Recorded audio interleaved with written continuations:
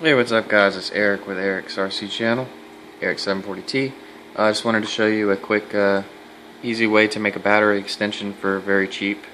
Um, my uh, Turnigy HAL, I had it, you know, with the canopy on top and everything, it makes um, mounting and getting your wires where you want them a little more difficult because the canopy blocks you from coming straight out the side.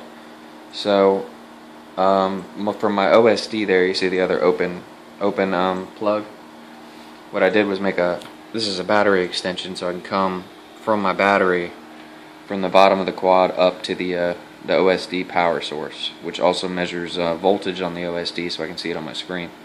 Um, all I did was take uh, of course a male and a female XT60 connector. I had some um, 10 gauge amplifier wire for cars laying around. It's brand new. I have a whole roll of it. I think I still got like 20 feet. I got it on like uh, clearance or something. I got like 20 feet of this stuff for like 10 bucks.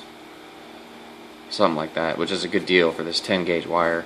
Um, so all I did was, you know, solder one end heat shrink tubing on the uh, female side and then on the male side uh, same thing and then I just zip tied and uh, put a big thing of heat shrink in the middle just to kind of hold the two wires together from coming apart when I route them around and stuff but thought you guys might find this uh, pretty useful. It doesn't cost a whole lot at all if you need to extend like your battery from one, you need to extend your wires for your battery from one place to another. This is um, a really good way to do it, and it does weigh a bit because, but I don't want any power loss. I don't want to lose any current, so this is like high grade amplifier um, copper core wire, and uh, it's very good wire. It's made by Stinger, I believe.